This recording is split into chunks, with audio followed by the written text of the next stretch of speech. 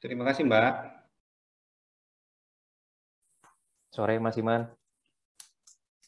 Sore, Mas Adit, Mas Iwan. Nah, bisa join ya, Mas? Iya.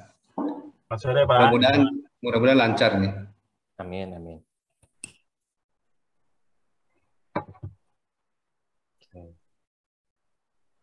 Pak Aryo belum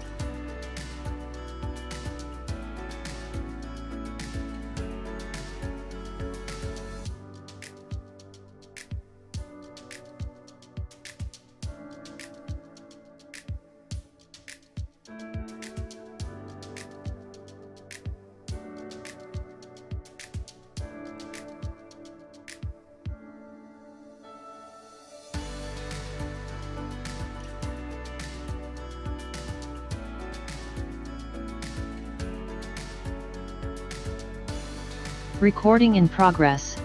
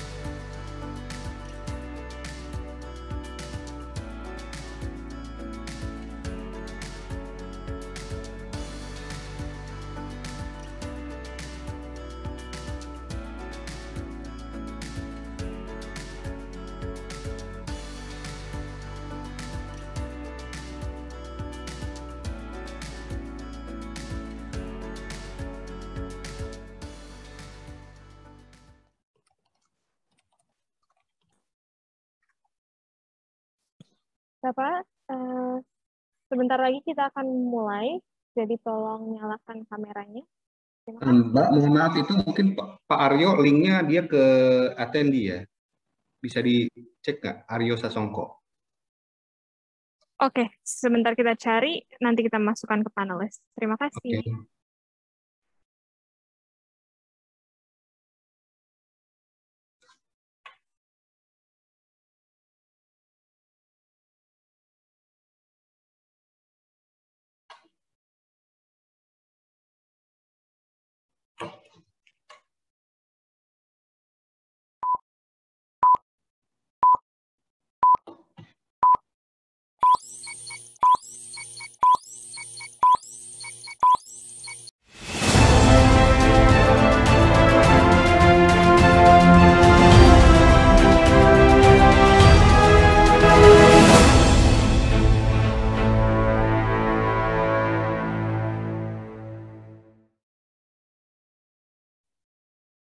Ladies and gentlemen, thank you for joining us today and welcome to the Financial System Development in Emerging Countries session.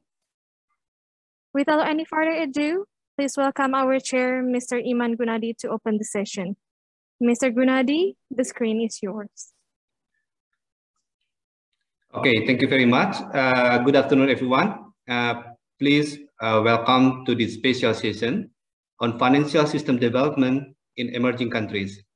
Thank you for joining us. To all of you over the world, uh, this session got three papers. We believe that we can learn more in new insight on how to develop financial system in particular aspect, especially financial integration, understanding sovereign uh, green sukuk, and also new stress tests when we are facing uh, some new challenges in financial system. Uh, session has uh, one hour. What we will do is uh, I let all three papers are presented first, uh, and then we move to the part of question and answers. All the questions should be written in the Q&A chat box, and all uh, and and I'll take some uh, of them or summarize some similar question or something that need to be clarified more. So the first paper is financial integration and financial system development in emerging markets and developing economies. This paper will be presented by uh, Mr. Fiskara Indawan from Bank Indonesia Institute. Uh, Mr. Fiskara, you'll have 15 minutes and I'll let you know when your time is three minutes remain. Mr. Indawan, the time is yours. Thank you, uh, Mr. Iman Gunadi, the head of uh, research group in Bank Indonesia Institute. All of the participants, uh, today I will uh, present about the financial uh, integration in developing countries. Here my presentation.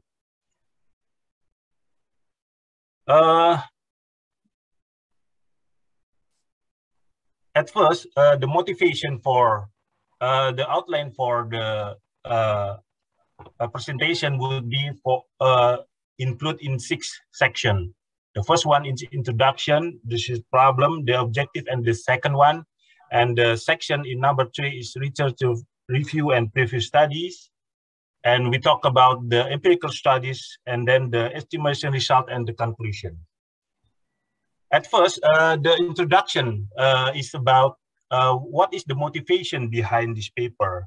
Uh, the paper is coming from uh, several studies, several publications said that emerging market and developing countries in, uh, especially in emerging countries, they are, they are, they are having as part of the main engine of world economic growth. But uh, on the other side, uh, some people said that Sahay in 2015, 2015, that said uh,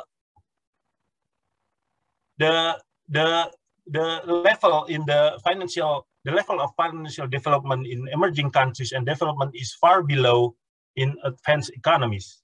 And then at the same time, after we saw in the uh, after global crisis in 19, in 2008 and 2009, uh, there are there are many uh, capital inflows uh, coming to the uh, financial market in emerging market and developing economies. That is why we therefore we see that it is important for the developing countries and emerging markets should have bring more advantage for this inflow, the capital inflow to develop uh, their uh, financial uh, uh, development. That is why uh, the research problem for this paper is about is talking about how every emerging countries in the emerging countries and developing economies in the in the world should be able to take advantage to uh, utilize the, uh, the capital inflow to increase their financial development. Therefore, the, the objective for the paper is about is talking about to explore the effect of the composition of the comp capital inflows in developing the financial market, the financial system in developing countries and emerging economies. So uh, we see that uh, in the literature review, there are many uh, studies and uh, previous uh, paper about uh, the discussion in what is the theoretic big background in the financial developing development. The first is Rajan and Zingales in 2013 that said the countries that open their economies should have been enjoy uh, develop financial system. And therefore, that many papers have studied the role of financial integration or financial uh, globalization in developing uh, financial uh, development. But uh, there are many papers, recent papers stated that this uh, measure is not uh, is not is not good enough to measure the whole function of financial development. Therefore, uh, in the 2020, 2012, the uh, IMF uh, with World Bank uh, pioneered the measure, the new measurement of the financial development. And then in the 1999, Lens and Milesi Ferretti have also introduced uh, the new measure of uh, financial uh, integration, which is now has been used widely by the IMF. And then the empirical study for this uh, paper, actually the the contribution for this paper is about is use is about uh, using the new measure of financial integration and the financial develop development introduced by the IMF uh, uh, as a, a, new standard for the measurement of financial development. The empirical study for this uh, paper, we, uh, I use a dynamic panel GMM estimation, which is uh, in order to get uh, the to capture the dynamic dynamic feature of uh, the the dependent variable, so that it will capture the the dynamic feature.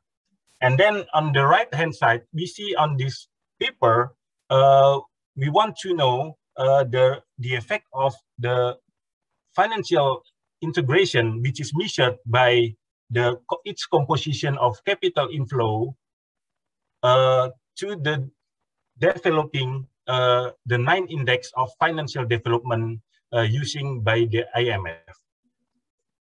Uh, in this paper, uh, I use uh, 79 countries for in emerging countries from Asia, Africa, Europe, and Latin America, and it covers from uh, its long uh, span years from 1979 to 2019.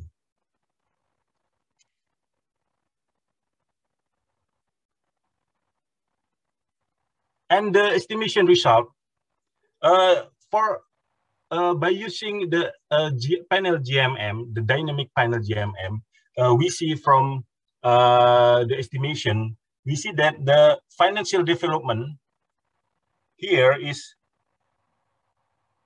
we see that financial development liabilities, uh, we use the, the liability side because we want to know the impact of the inflow.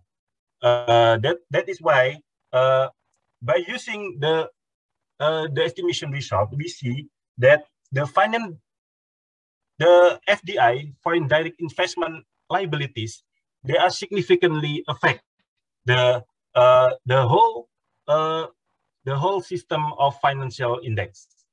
That is why we see that from this from this uh, result, we see that financial development inflow, uh, they have, they can uh, significantly affect the financial development in emerging countries, and especially they affect to affect all of the aspect of financial development, which include the financial institution and the financial market, and then the financial of each of the of them are uh, categories also in uh, its depth and its access and its in uh, efficiency. From this uh, result, we see that foreign direct investment they are significantly contribute to enhance or increase the developing uh, financial development in emerging countries. And then for the debt, uh, in this paper, uh, we use the debt, uh, which is uh, uh, proxied or represented by the uh, external debt.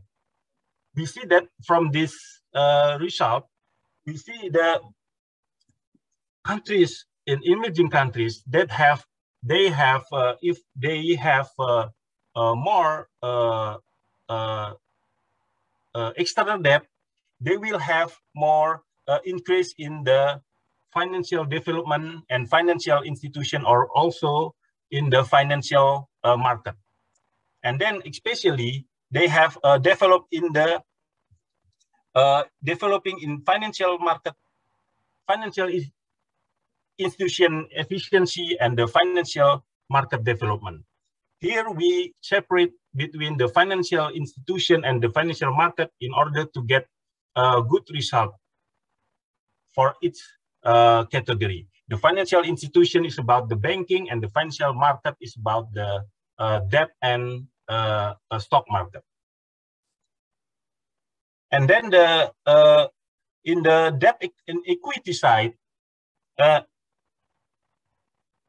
in equity side, you see that the equity, uh, the inflow uh, in the form of equity, they uh, also significant in contributing to increase the uh, depth of the financial development and then the financial institution and then the financial market.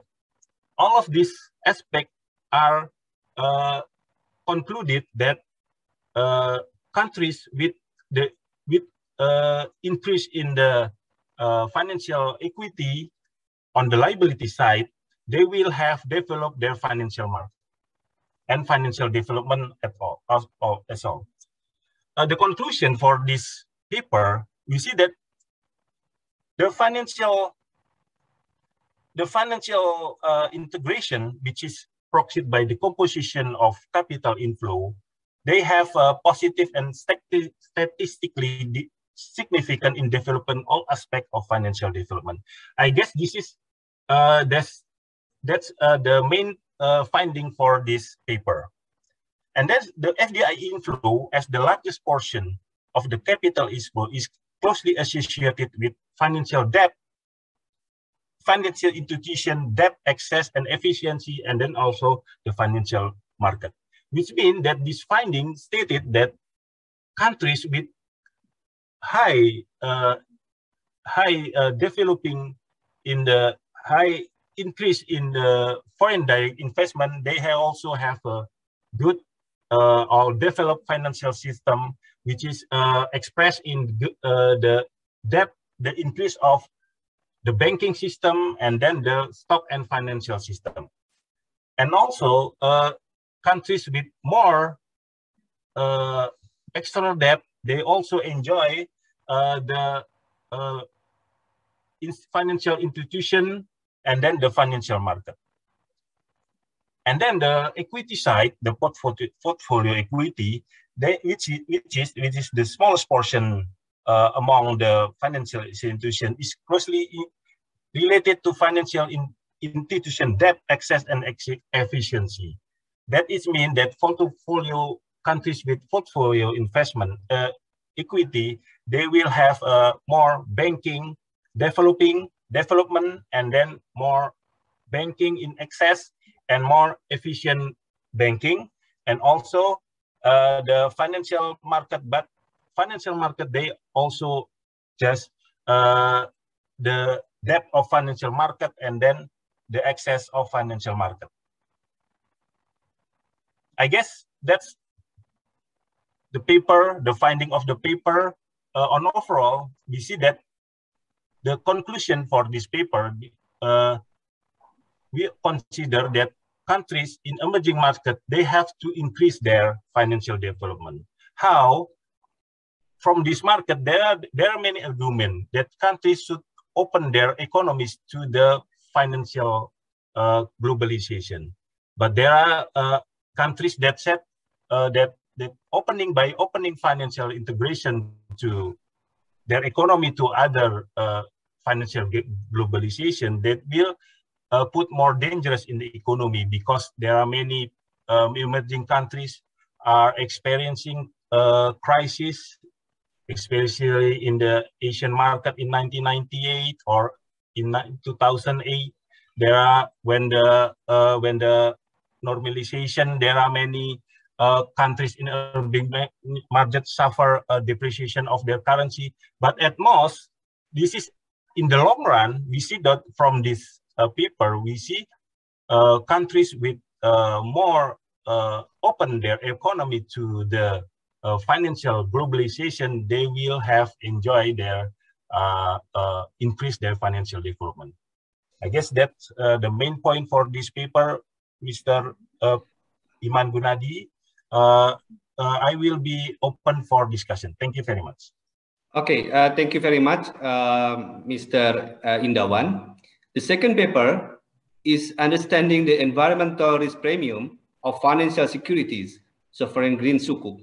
This paper is the work of Dr. Aryo Sasongko from Bank Indonesia Institute and also Dr. Ali Sakti from Department of Sharia Economic and Finance, Bank Indonesia. Dr. Aryo Sasongko will be the presenter. And you have also 15 minutes, Dr. Uh, Sasongko. Your presentation will start now. Thank you.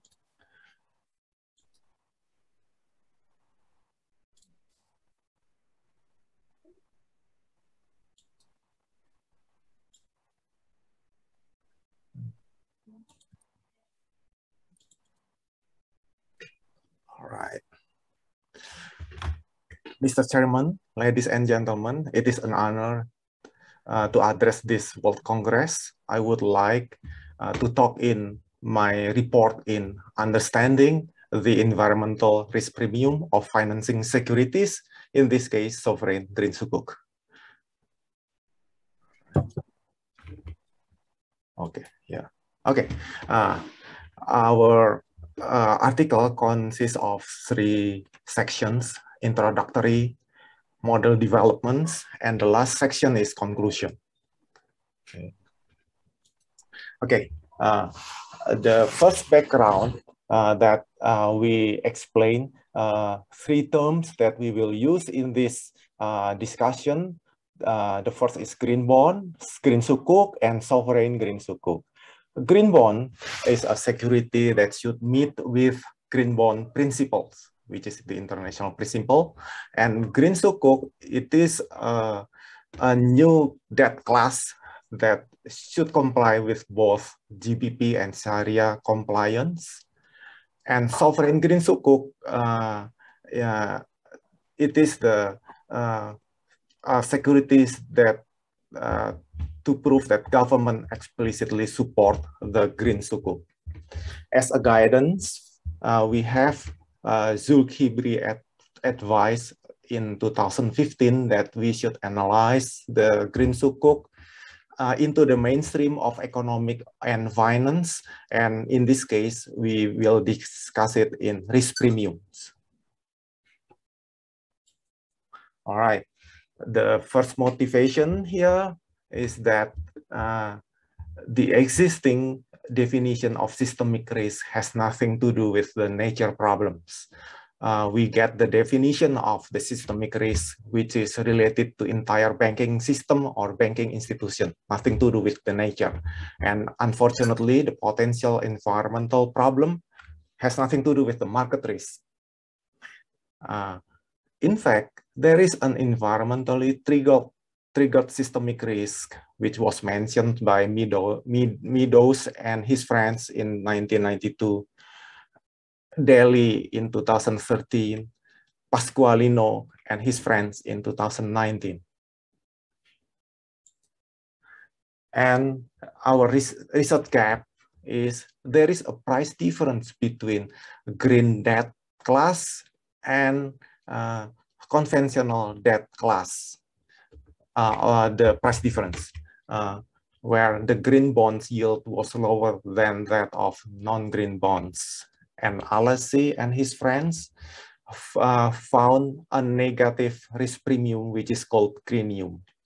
And uh, we couldn't find any explanation of this price difference. Right. Our research contribution uh, is about finding uh, the major role of that price difference. Uh, they are the environmental systemic risk and environmental reputational risk. To find those two, both risks, we visited the operational risk, uh, the, uh, the generic uh, risk, which is called operational risk and reputational risk, where the operational and reputational is closely related. Uh, usually, operational risk triggers the reputational risk. And in this case, uh, uh, we get that the environmental systemic risk leads to environmental reputational risk. Right? Okay. In the model definitions, uh, eh, I'm sorry, the model development, if we introduce three definitions, four propositions, and two corollaries. Uh, okay, all right, the first definition, uh, the waste generation is, is the aggregate flows of waste and pollution, which are byproducts of humans' economic activities for a certain periods. And the second definition is the accumulative waste is the balance of waste and pollution in the world, which consists of inflows and outflows. And waste generation is the inflows and the restoration function or healing function is the outflows. Uh, to make it simple, we compare some terms in environmental risk domain, physics world, and bank accounts world. The waste generation resembles the velocity or speed or cash flow or mutations. And the accumulative waste is the distance or the balance or deposit amount in the bank account. Okay.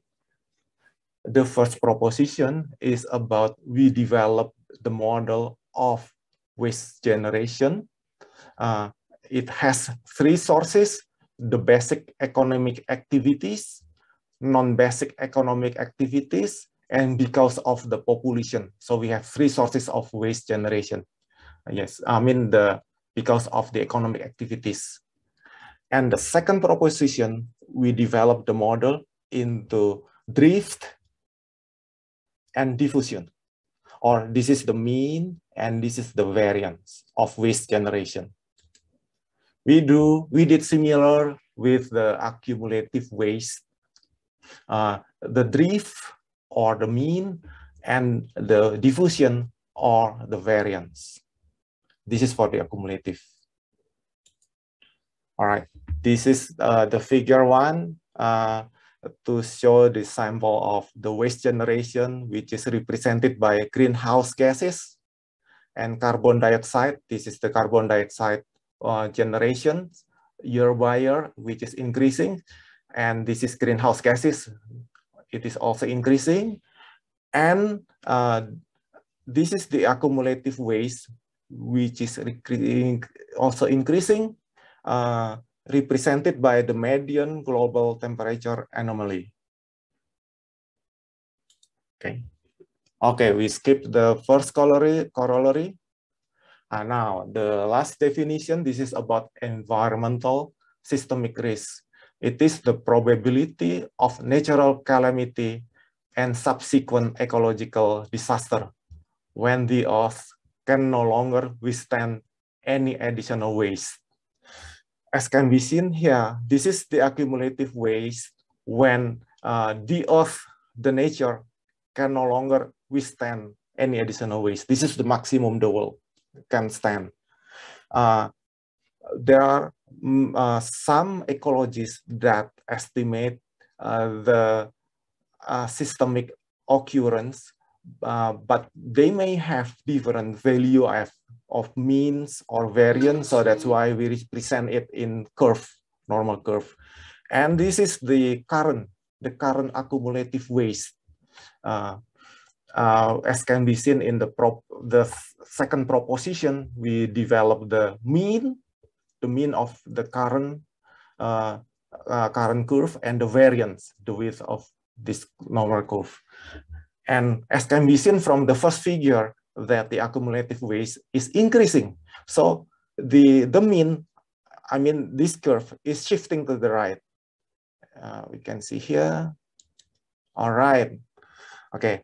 Uh, the more the skew shift to the right, the greater the probability that A, AT overlaps AS, the greater the probability of systemic occurrence. Right. Uh, we skip the second corollary. All right. The third proposition is that we develop the risk premium of environmental systemic risk premium. Here you are. Uh, uh, because of uh, when the 80 current accumulative waste overlaps the uh, systemic accumulative waste. All right, this is the simulation of waste generation and accumulative waste. Uh, uh, in worsening condition, the accumulative waste is increasing uh, and the improving scenarios when the accumulative waste is decreasing. Okay. And this is the risk premium uh, the environmental risk, systemic risk premium when this is improving and this is worsening. The worsening line is higher than, of course, than uh, that of uh, yeah, improving. All right. The fourth proposition is uh, the about uh, environmental reputational systemic premium. This is the equation and S is the ESG score of the green sukuk. Uh, the higher the green compliance score or ESG score of financing project, I mean the, the sukuk uh, financings, the lower uh, the environmental reputational risk, FIRAN. Therefore, the green project, which has the GBP certificate, must suffer less than that of conventional uh, uh, debt. Right. This is the uh, the green sukuk. Uh, this is uh, the uh, the accumulation of risk premiums. I mean the systemic and reputational. This is the improving condition, and this is the worsening condition. Of course, the higher the risk, the higher the yield. Okay, we jump, uh, we arrive to the conclusions. Technology weakness, growing economy, free motion, pollutant motion, the environmental risk, systemic risk, which exposing the earth. From now on, the essential risk premiums of government debts are inflation, sovereignty, sovereignty is country default, and environmental systemic. Now, not only sovereign green sukuk and green bonds, but all financial contracts also face the environmental systemic risk. This is a must.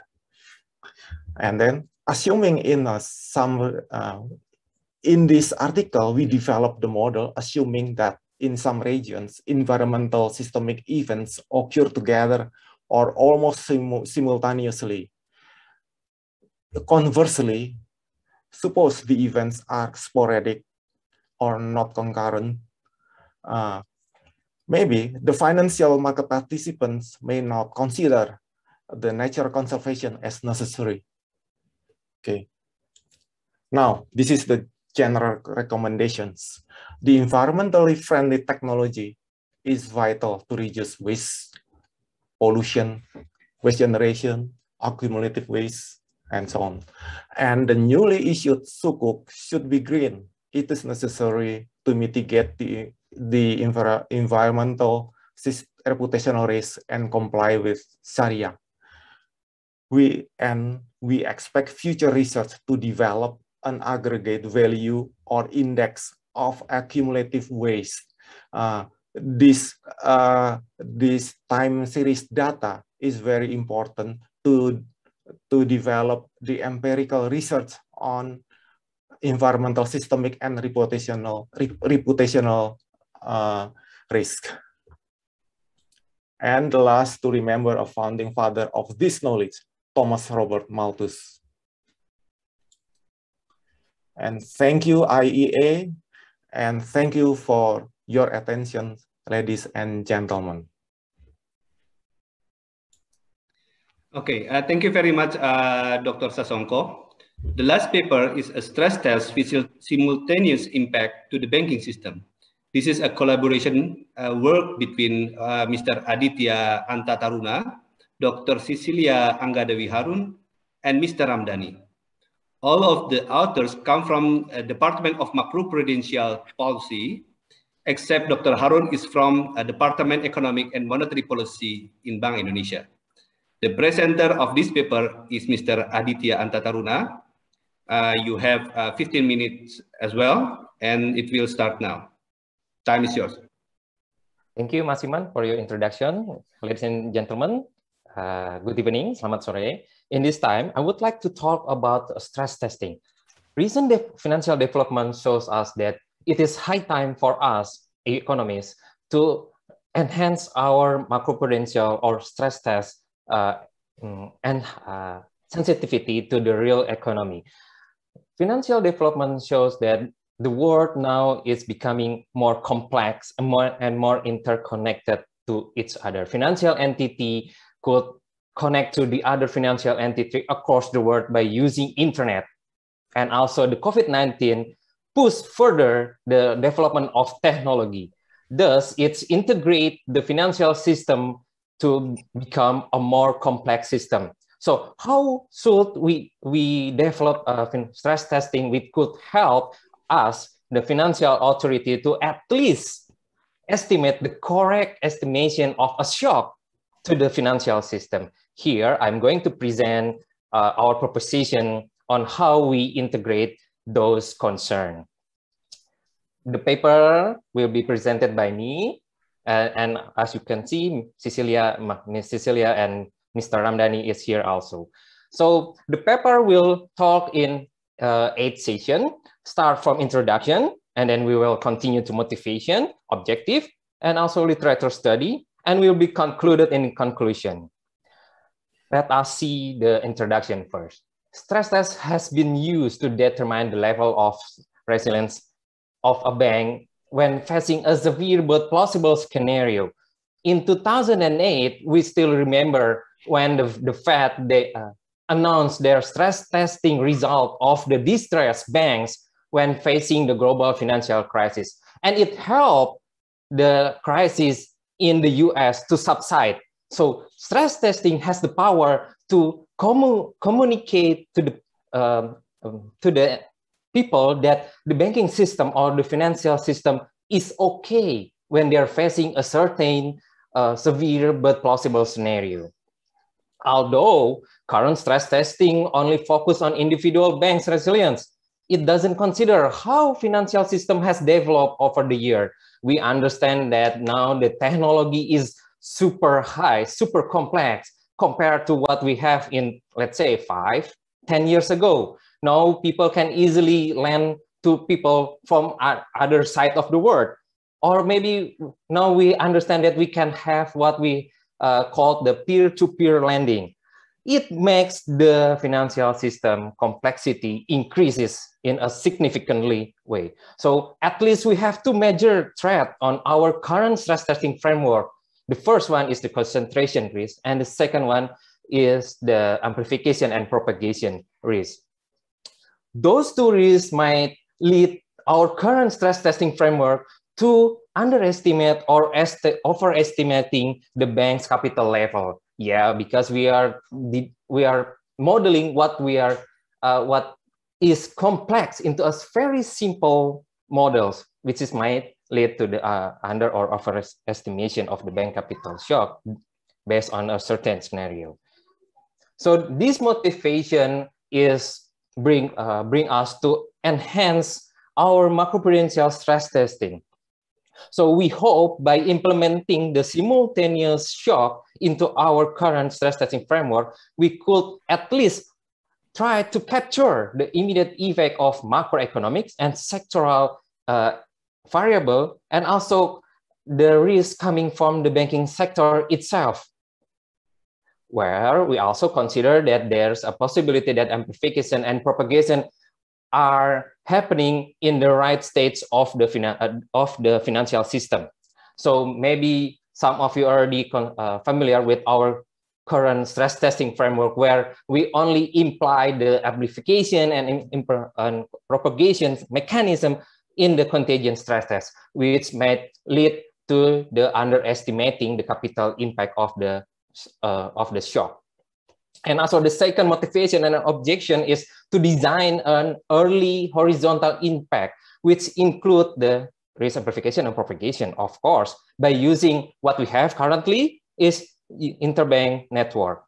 And also, we also still consider other possibility which might coming from the asset pricing and other possible channel such as information channels. As we know that in 2008, information channels played a huge role to bringing down the US capital market. Okay, so the value added of this paper is to install propagation and amplification into the current stress testing framework, especially in Bank Indonesia stress testing framework.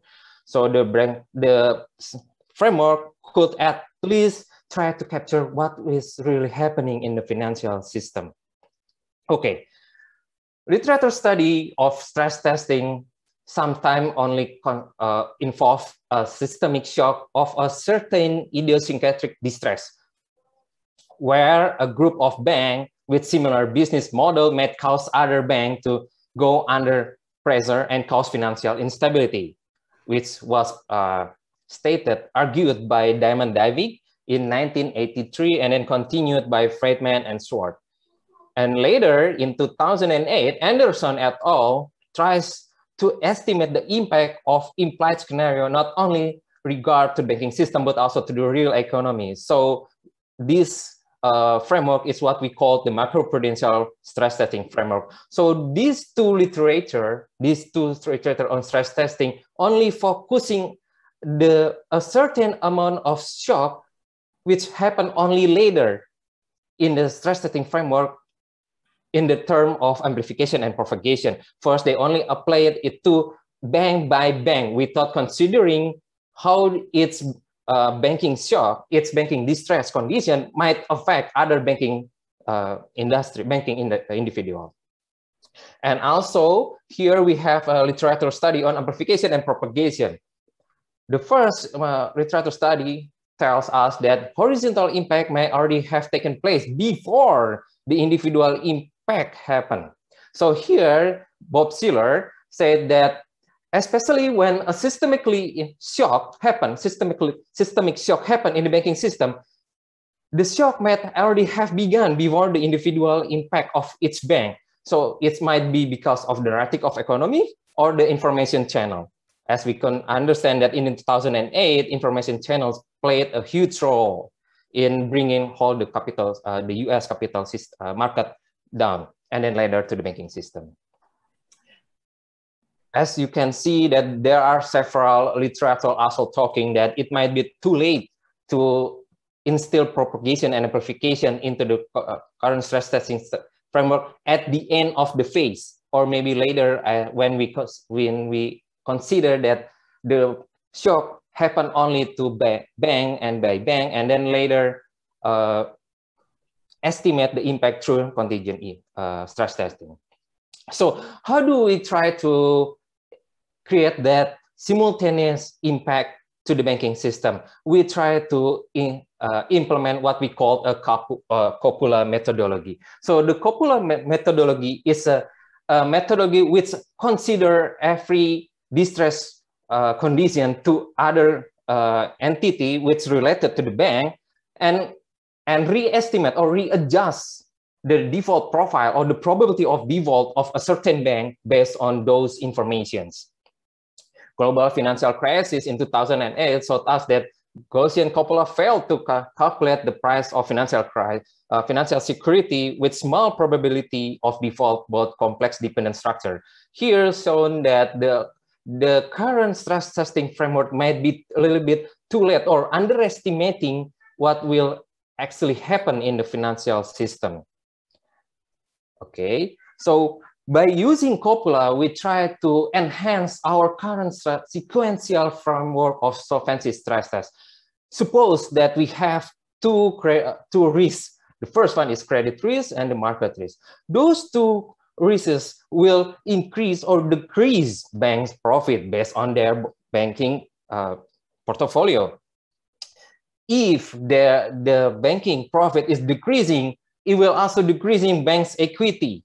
And later, it will also cause a drop in capital adequacy ratio, or what we call as a ratio between equity and risk-weighted asset. If the estimated bank CAR is below the hurdle rate or a certain threshold, let's say we have 8% um, of the threshold. If the bank the bank's CAR falls under 8%, and then we, we say that the bank is failed. After we declare the bank is failed, then later we imply the amplification and propagation. As, as you could see here, that amplification and propagation only installed in the later phase or the, the end phase of the stress testing framework, which might be a little bit too late. So here we try to install the copula construction which consider our possibility of the shock to affect other shock at the beginning of the shock before it affect bank. Here we, we consider several factors. The first one is the bank idiosyncratic factor or default profile here. We, we say it as in ZI or what we understand that the bank default profiles sometime reflected as in their non-performing loan. Okay, so the systemic factor or the other simultaneous shock might come from the interaction between macroeconomic or sectoral variable. Those variable will adjust the bank default profile by using this formula. As you could see, XMIG, which stands for the macro shock, will and will adjust the bank default profile based on the interaction of macro variable.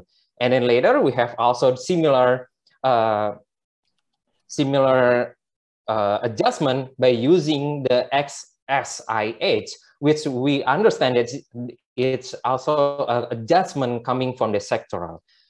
So here we have what we what we called as an adjusted bank default profile. So the adjusted bank default profile already accounted what might be already happening in the financial system before we imply those shock to the banking system. Here, we also understand that after we adjust what we call the adjusted bank default profile, and then we can proceed to use the our current stress testing balance sheet approach framework, this one. So instead of using the shock only separated, we have an adjusted default profile with us. we already considered the interaction between bank itself and also the macro and the sectoral variable. So we hope that we could at least try to capture the complexity of financial development current that, that we have now. Okay. This is just how we try to see which uh, macroeconomic or sectoral variable or even the bank plays as the central node that will play a huge role in adjusting the bank's profile. So by using this pair-copula construction, we could see that in the three, four, or the, the, the N3 of the estimation, we have what the relation of only two nodes, which might basically could represent all the relation between either macroeconomics, sectoral, or the banking system itself. So by using this tree, we know that which macro or sectoral variable should we shock to at least try to understand what will happen in the financial system when there is a shock happen to the financial system, of course. Here I give an, an explanation of how we see the copula uh, construction simplified what we have a, a complex interaction between macro variable. So uh, you, as you could see, what was a jumbled interaction between macro variable now represented in a very simpler uh, interaction where financial sector play the central node, as you could see here in financial sector. Unfortunately, I'm sorry that due to... Uh, uh, two minutes of, left, uh, Mr. Taruna. Got it, Mr. Iman. Thank you so much for your remaining. So here you can see that we don't show the banking industry copula estimation because I'm deeply sorry that it's confidential, but basically you understand the idea. Okay, so here we try to give you the idea of why we should know which sector or or which macro variable play huge role in adjusting banks default profile. If we have a shock to financial sector, almost all variables shifted to the left skew, where we understand that it's a positive shock to the system. Whilst if we compare to the consumption sector, which is not the central node here, this, the response of other variable to the shock of consumption, it's a little bit uh, lower compared to the financial sector. Well, also they are they are still responding. As you could see, some of the variables still shifted to the life, but we if we compare the magnitude and the, the skewness of the distribution is totally uh, different when we compare to the financial sector. Here, we just want to see, to show you the simulation result when we are using the simultaneous impact. So we apply a COVID-19 and financial market shock into the banking system. We're using a financial uh, simultaneous stress test framework. The stress test results show that the impact of COVID-19 crisis followed by financial market shock could be enormous. As you could see from the NPL dynamic here, the NPL shoot up quite highly and it's almost reached what already happened in uh, Asian financial crisis in 1998. This result confirmed that the existence of panics or what we call uh, the amplification and propagation of shock in this period is there. Okay, so the conclusion is the sequential stress testing framework might be underestimating the shock of uh, of a certain scenario or, or certain shock in distress period, especially where we understand that the recent financial development caused the financial system to be highly complex, highly com interconnected to each other. So the framework consider possible shock amplification and propagation in both macroeconomic and also the banking sector, as we uh, as we seen from the presentation that we understand that a shock to a certain macro or sectoral variable may cause a chain reaction of shock in the financial system. It's not play a major role in transmitting shock, of course. Even if we, we have a shock to a non-central node, we understand in our uh, slide that consumption, even though it's not a central node, it still have a huge impact to the financial system. So when considering shock and amplification and propagation, COVID-19 and financial market simultaneous shock caused a significant impact to the banking system if the shock materialized. So all in all, we understand that it is high time for us, economists and also central banker, to at least enhance our stress testing framework with maybe applying the simultaneous stress testing framework. Thank you so much and stay safe, everyone. I'll give back the floor to Mas Iman. Thank you. Okay, uh, thank you very much. Uh, thank you very much to all uh, presenters. Now we are going to take some questions from the audience. Uh, first question from uh, Mr. Sahminan uh, for Mr. Indawan. he asked a couple questions. how do you measure financial development? And the second question is how do you make sure that there is no endogeneity problem and reverse causality? Uh, second question goes to Dr. Sasongko from Nareswari. Uh, she asked about the figure one in uh, Dr. Sasongko presentation. Uh, the figure one has shown some measured pollutants, but why don't you regret? Uh, why don't you regress some data to exercise your model? The third question from uh, Mousumi Das from National Council of Applied Economic Research, New Delhi, India, for um, Mr. Aditya Taruna. He needs clarification. How can an event like a pandemic uh, be differentiated from other catastrophic events and modeling be done accordingly? Also, is it advisable to classify the pandemic as an environmental risk? Will such extreme events seriously distort uh, the distribution of the green uh, compliance score. So that's the, the first uh, three questions from three people. Uh, can you uh, answer very briefly? the first one for Mr. Indawan, please. Thank you, Mr. Gunadi.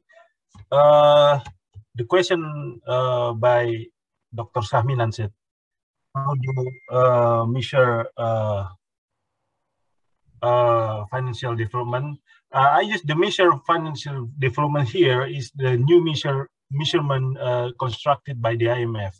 Uh, it's it's it is uh, comprised of six index of financial development, and it has been used by the IMF for uh, for publication for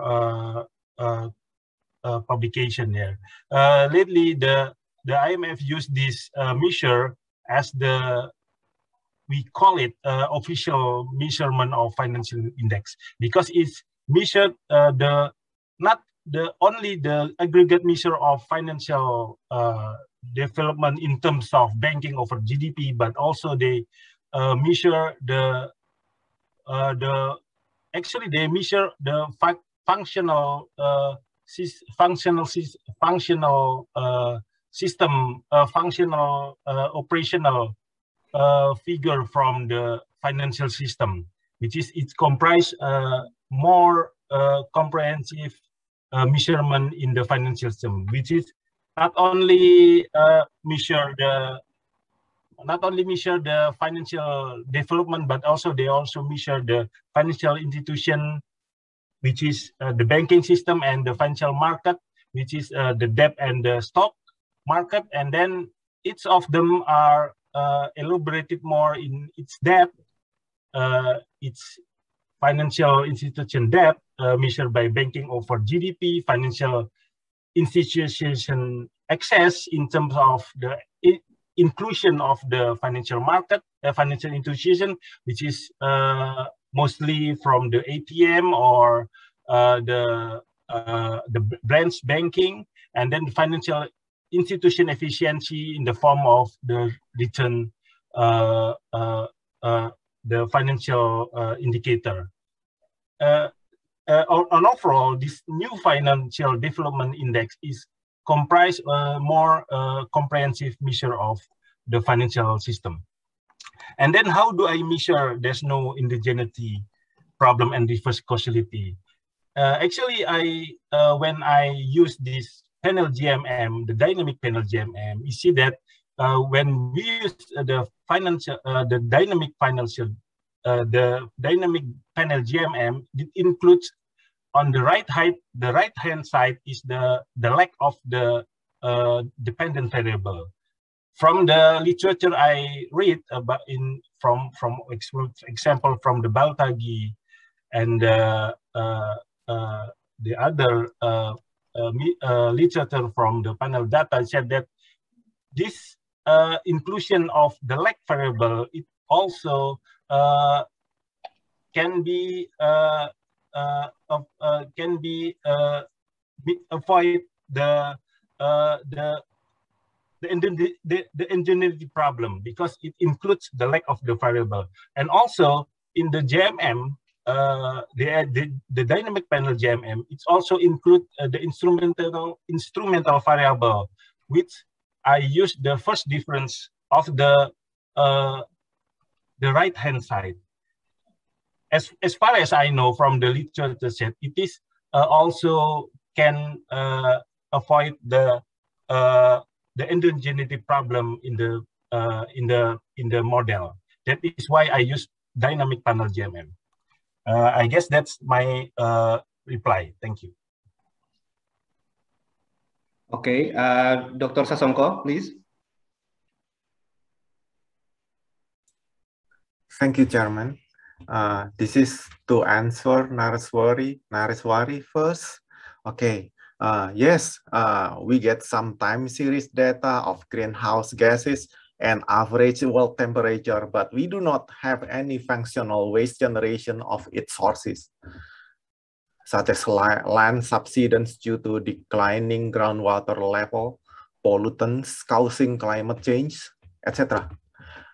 Neither do we have any unique waste generation source, nor misspending natural resource data, such as methane production of organic waste, toxic gases of burning plastic, pump water off ground, etc. So instead, we develop a model of three material groups, uh, which I have mentioned early earlier, that it consists of uh, basic uh, consumption activities, non-basic consumption activities, and due to the populations. And then uh, to an I hope the, uh, it can answer. And the question from uh, uh, Pak Sahminan uh, about the models, yes, uh, uh, we uh, I can answer that we established the concept to answer uh, what caused the price difference. So we established uh, four things. Uh, they are waste generation, accumulative waste, uh, and then environmental systemic risk premium and environmental reputational risk premium. Uh, because we talk about the sovereign green sukuk, which is depends on the yield curve, and the yield curve consists of several layers of risk premium. So we discuss it in risk premiums. And uh, uh, as condition, we, we can uh, uh, we can simplify it as waste generation is the, in physics world, uh, waste generation is the speed, accumulative waste is the distance of the car, and uh, environmental systemic uh, events is uh, uh, the length of the road when you pass it, you go anywhere out of the asphalt uh, hardening roads and you get the problems. Uh, uh, and the risk premium, uh, the environmental systemic risk premium uh, expose all debt classes, including the, equi uh, the equities. But the problem with the ESG scores, which expose to the environmental reputational risk premium. It it is the difference. Okay.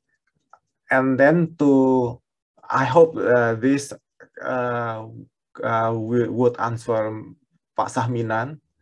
And then to mr Mousumi uh, uh, this is a good question. Uh, that's right. Uh, the pandemic as environmental uh, risk. Uh, okay, uh, the I think- environmental. I think the the, the uh, most of me a question goes to the uh, Mr. Taruna, Pak Aryo. Uh, I thought, yeah, okay, okay, okay. Thank Okay, thank you, uh, Pak Aryo. Uh, okay, uh, Mr. Aditya. Thank you, Masiman. So, Mr. Mousumi asked us about if it's good to differentiate a pandemic aside from cata- other catastrophic events, such as global financial crisis or the Great Depression in 1920, 1930. No, the answer is no. So, as long as the shock is severe enough but plausible to the financial system. So, what does that mean? So, the shock is severe enough to cause the financial system to have an im- a severe impact or a significant impact to the financial system, let's say that it caused the GDP to drop to a certain level, which caused the consumption to deteriorate and creating a huge ruckus or a huge impact into the financial system. So if we understand the COVID-19 impact, let's say, since the paper was done in early 2020, where COVID was just its beginning, we, we didn't know the impact of the COVID-19 before. So we, we create a scenario where we see the COVID-19 will cause all the financial system to collapse. Now, the question about should we include natural disaster as our uh, scenario? Yes, if us as an economist see that the financial, uh, the natural disaster might cause a huge shock to the financial system. Let's say there is a massive earthquake and cause the in economic to collapse and see that the possibility of the earthquake might coming in let's say one or two months from now. So using those scenario, we want to see if the financial system could withstand the shock of the earthquake. And we use this stress test scenario. So it's depend on how does we want, how do we want to see or how do we want to assess our financial system resilience to a certain scenario. It could be COVID-19, it could be a natural disaster, or it could be another event which we don't understand how to handle, which might cause the systemic risk impact to the financial system. So, uh, Ms., uh, Mr. Mousumi, I hope that uh, my answer satisfy your urge to learn more on how we create the scenario in stress testing. Thank you so much, Mas Iman. Okay, uh, thank you. Thank you uh, to all audience for your enthusiasm with your many questions. However, due to uh, time limitation, we will finish the session. All other questions will be answered directly by the presenters. Uh, once again, I would like to thank all presenters and audience uh, for such a wonderful discussion. And last but not least, my sincere gratitude also goes to International Economic Association for giving us the time to present our works in this prestigious uh, event. I'll stop now and good day to everyone. Thank you very much. Thank you so much. Thank you.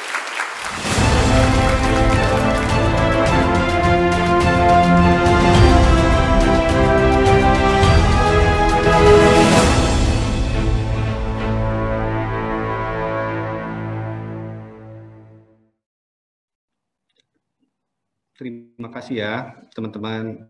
Uh, uh,